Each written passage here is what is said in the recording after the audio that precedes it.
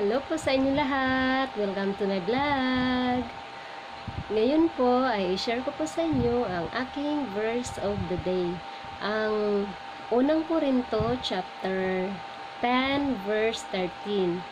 Wala pang pagsubok na dumating sa inyo na hindi nararanasan ng ibang tao.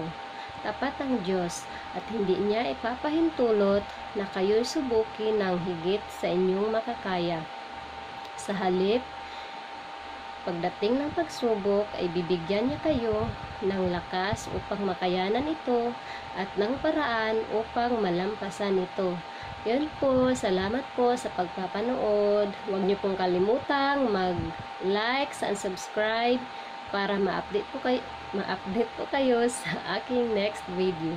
Salamat po. Bye-bye. God bless.